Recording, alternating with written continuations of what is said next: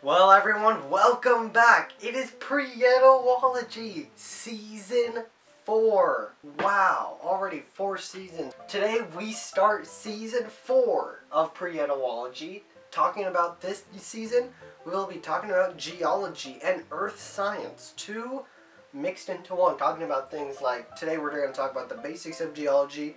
We're going to talk about geography, biomes, weather, and a bunch of other stuff that'll be pretty interesting. So if you haven't seen Prietology before, I recommend stopping this video, go watch season 1, 2, 3, and 1, 2, and 3 in the, in the playlist right here. Go catch up on some chemistry, physics, and biology that we've done before. Still, sadly, we will not be doing Experiment of the Day. I don't know if we'll be doing Experiment of the Day next season. Sneak peek, we're doing another season. So yeah, I don't know if we'll be doing Experiment of the Day next season. So yeah, um, might as well talk about the table. Yeah, you see it's a bit different. There's no more plants. Well, I'll just explain some of the stuff on the table. So here we have the textbook that we're using, Basher Science is what we usually use.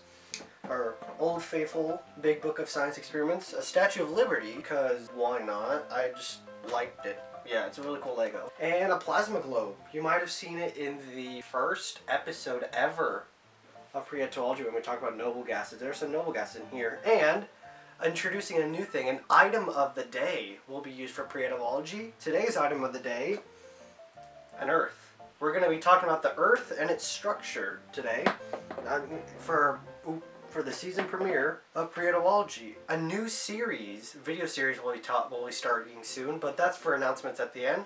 So yeah, like we usually do, we go over the key terms. Alright, so usually at the beginning of the episode, and today's is the first episode, the basics of geology, usually at the beginning, before we start getting into the terms, we review the key terms. A new thing that I'm implementing this season, for every episode, there will not be more than 10 terms, because I remember doing season 3 episode 2, holy mackerel, that took way too long, 20 terms in that one. Well, we have eight terms only today, so that'll be better. We have crust, mantle, core, plates, hotspot, earthquake, rocks, and minerals. Let's get started in our brand new season. Alright, here we are, our first term of Prietology. And also one more thing I should mention, we will still be doing fun facts at the end of the term, like we did last season. Crust! Where we are right now, you are sitting on the crust right now. It is the top of Earth's layers. It contains all life. If you want to know more about life, check out Season 3 of Prietology. It is made of solid rock that contains continents, seabeds, islands, plateaus, mountain ranges, water. We'll talk about a lot of that more in a later episode. It also has mountain ranges that point out of the crust and anti-ranges that point into the mantle, which is a layer below it, like folding paper, like, hold on really quick. Here, I have a piece of paper, and if I fold it correctly, here we are. These are like the mountain ranges, so as you can see it's in the M shape. So basically the mountains, if you look closely, the mountains are the ones that are pointing up top. The anti-ranges, the mountain ranges are here, the anti-ranges point in the mantle. So if my finger here's the mantle, this is usually how mountain ranges work. It's just contracted plates that are together. It's usually the rocks that make up the crust are things like basalt, granite, and sedimentary rocks, which we will get to in a bit. Fun fact, our first fun fact of the year, the one, it, the crust makes up only 1% of the Earth's volume. All the, all the crust is only 1% of this thing. Pretty cool. Yeah. We only live in a small part of this big world.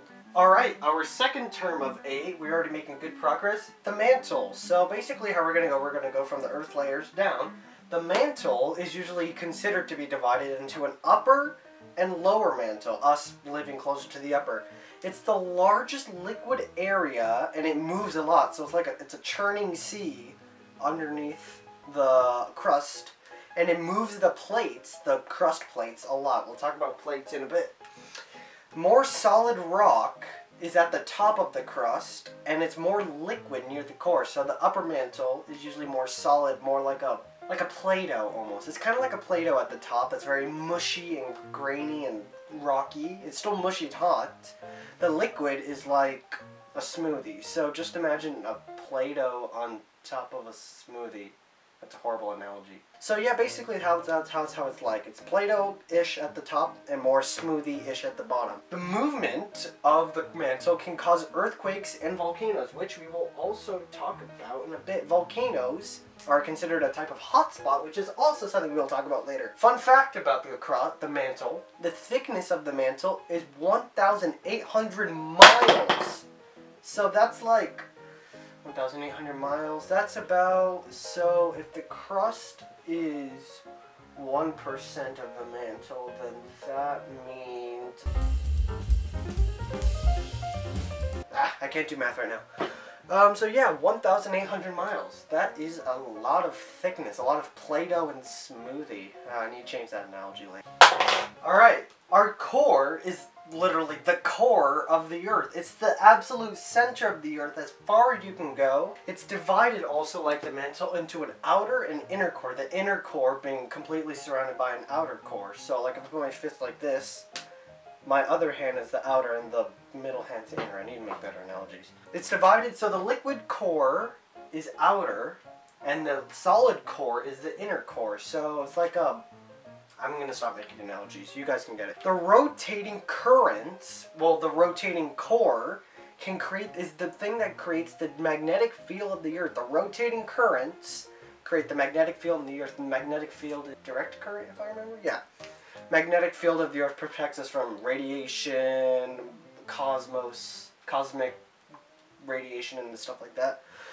The core is mostly composed of iron and nickel, which allows for it to be magnetic. You know, iron's magnetic, so a rotating magnet around uh, metallic, around a metallic outer core makes a magnetic field. It also has nickel, which is also magnetic, but not as magnetic as iron. The fun fact about it, the diameter, since it's a sphere, 2,166 miles. That's a good amount. Alright, we're halfway there. Plates, not as in dinner plates, but tectonic plates, the ones that move about the mantle, pieces of crust that float along the mantle. So basically, like, there's an experiment that some people do. They have milk, I think it's milk, and they put something on top, or water, and then they put like slabs of wood on top of it and see how they collide and stuff like that. So basically they just float around on the crust, just colliding slightly, and you know how the mantle rotates, that's how the crust can move.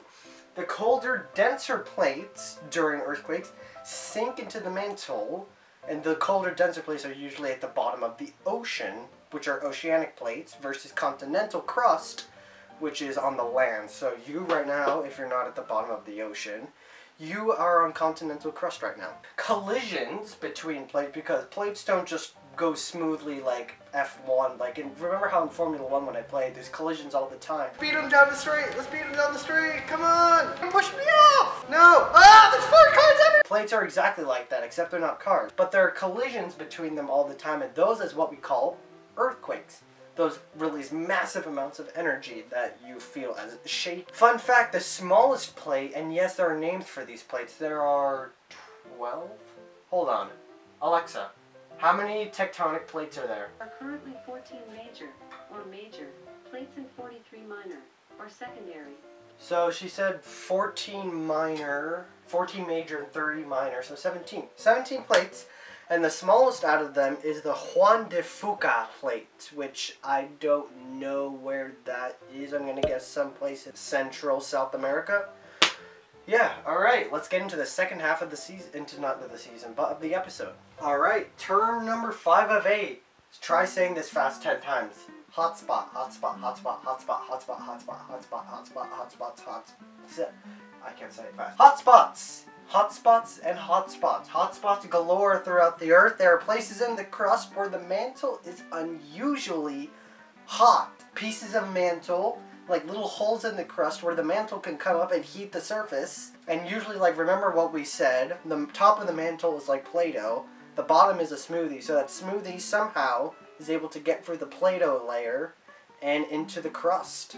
They can make geysers, which are erupting water, hot springs, just boiling hot water they should never touch, and the most of all, volcanoes. That's where the biggest ones are. All of them, hot elements from the earth coming up and spewing for pressure and heat from the mag from the mantle, which, like I said, is unusually hot where it is. That's create hotspot. Magma can arise from the mantle in the form of volcanoes, and the magma flows out of the volcano in the form of lava. So when magma is inside the earth, it's called when magma is in when magma is inside the earth, it's called magma, and when it's outside, being spewed out onto the crust, that is lava.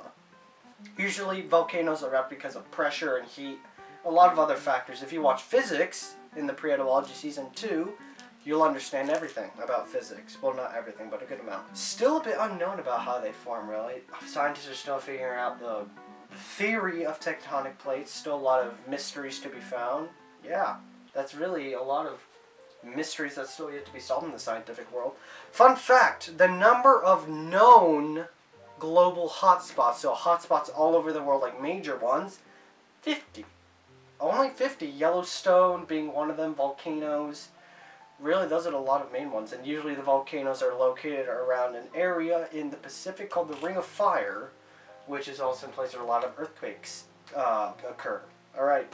Alright, a massive shake of the earth. In earthquakes, which are term number six, lots of shaking in the earth, a collision of. Uh, give me some things to collide. A collision. You see a collision like this? A collision, a collision of two plates at an area called a fault line. There are fault lines that are basically the borders between the crust. So basically, let's say you have Hmm, let me give a good analogy. I think this analogy could actually work. Hold on. Let's say this is our Earth. These, so let's draw the continents really quick. I'm going to draw them on my side and I'll switch them for you guys.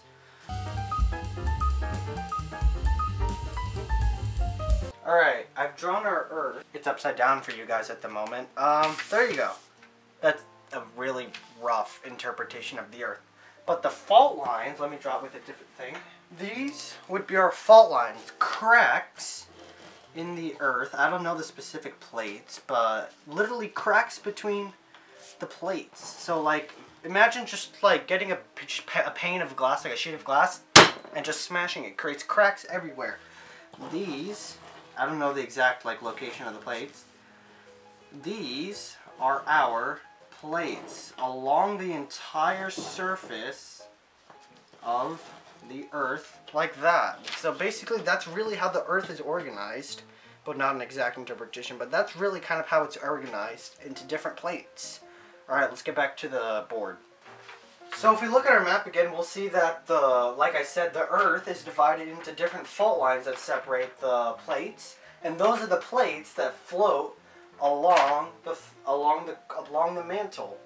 So there's a difference in plates. So there's two types of plates really. There's oceanic and continental. The denser, like I said, with plates, the denser oceanic plates will go under the continental crust into the mantle, just sink in there. When the collision between plates, oh, I need something else now for uh, analogy.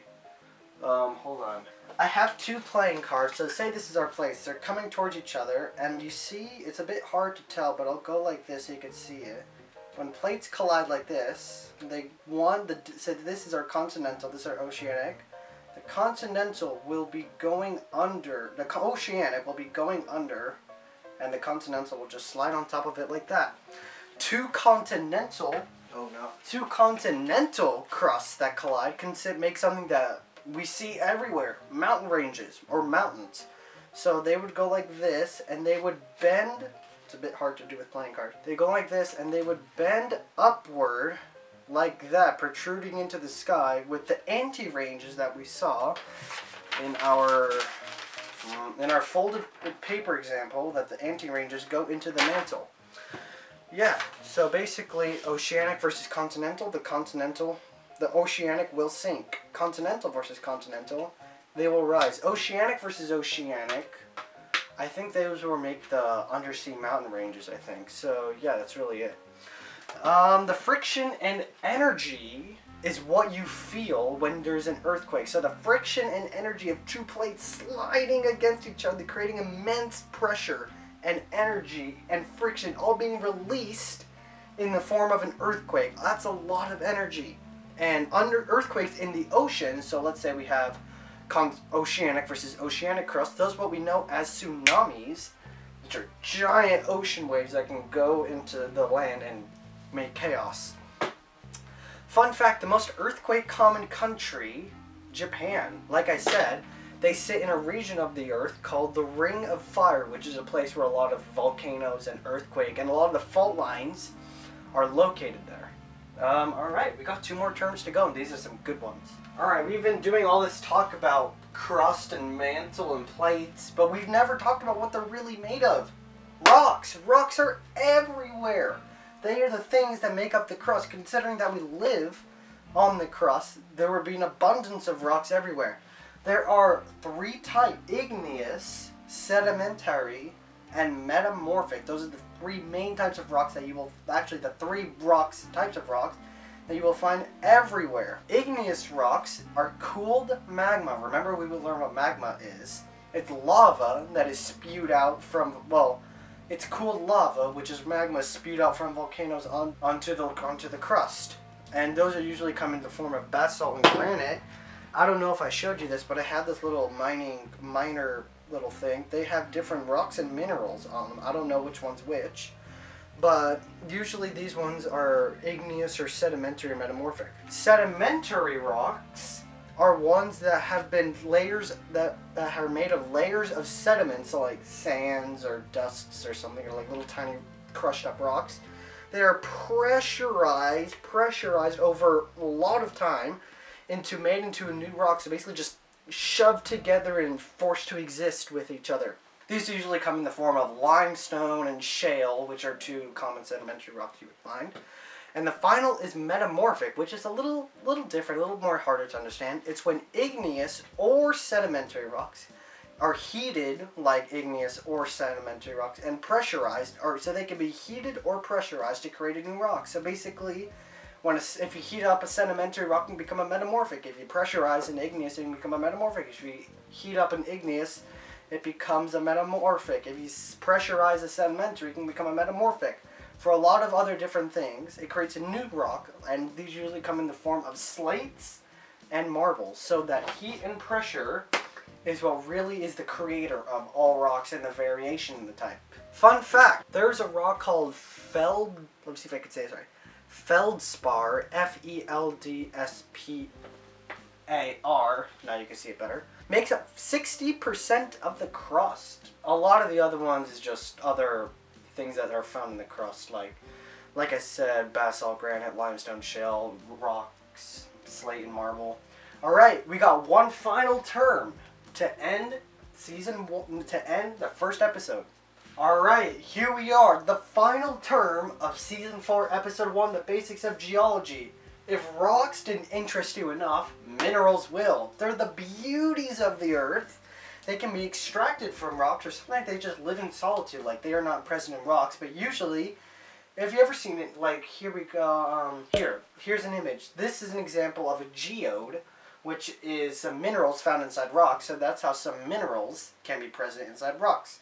Valuable metals can be extracted from mineral ores to make things like, you know, like gold, silver, lead, um, iron, a bunch of other valuable metals that are super valuable in today's society. Minerals can also be in the form of crystals, which is usually how you see them. So if you put the geode picture back up, you'll see that's some crystal in there. And if we go back to my Meyer statue, you'll see there's actually some crystal in here. We have some purple crystal. I don't know what it is, but it's kind of falling apart at the moment. But yeah, this it would be an example of a mineral. These are an example of a rock. As you can see, different appearances. Minerals are more have more of a lust, have more of a shine. They can be in the form of crystals, like you know, you know some of these crystals. You know, diamond, you know, quartz, you know, emerald, you know, gypsum. There's a lot of other really cool ones out there. I don't know what that one is. I'll look that one up. Jade. That's another cool one. Those are usually very valuable and usually come with conspicuous consumption and stuff like that. Fun facts! The world's largest crystal, the biggest one, is 55 tons of gypsum. That's a lot. A gypsum crystal, that is 55 tons. Wow. I'm not going to do the clapping thing anymore because we're, we're, we're getting a hang of Prietology. We're already four seasons in. All right, we are done with the episode. So usually at the end of an episode, we do announcements. So let's just get on to announcements. We got some pretty important ones. Look at this. Whenever I bring my hand close to it, there's a lot more spikes and stuff like that. All right, announcements. Um, season four off to a bang. Geology is a great topic to discuss. Season one, see episode one, check. Some announcements. Gaming videos, you might not see them for a while. I've been doing a lot of gaming recently. It's a really tiring video to make, so you might see a, a gap in gaming videos. Coming soon, 2021, summer, 2022, summer vacation. That we are going on vacation again, and it is coming very soon. More details about that. I might start gaming videos after we come from vacation, but that is still to be determined. We will figure that out. A brand new video series. It's not gaming. It's like you and me having a conversation. I call it F1 Review. I will be doing my own personal view and commentary of some Formula One races. I'm going to start with the first five that have already happened this season, which happened to be which the first five races that will be happening this season, which is the Bahrain Grand Prix, Saudi Arabia, Australia, Emilia Romagna, and Miami. I'll be owing my per- personal thing. So if you're a Formula One fan, join in. It'll be pretty fun. First episode is expected to be May 14th. All right, I think that's it. The next episode will be about geography. We're getting into some of the physical Earth science. So now that we talked about what's making up the Earth, let's talk about what's around the Earth. How is humans, like you and me, distinguish the different land features? So latitude, longitude, tropics, landforms, plateaus, continents, and much more. Stay tuned for that. That will be in about, that will be next month, I think. So yeah, that's really it. Thanks for watching, guys. I will see you for the next episode of Prietology and coming soon on May 14th, the first video of Formula One review. See ya. Oh, I should. Oh, I forgot to say remote. Whoops, I should have.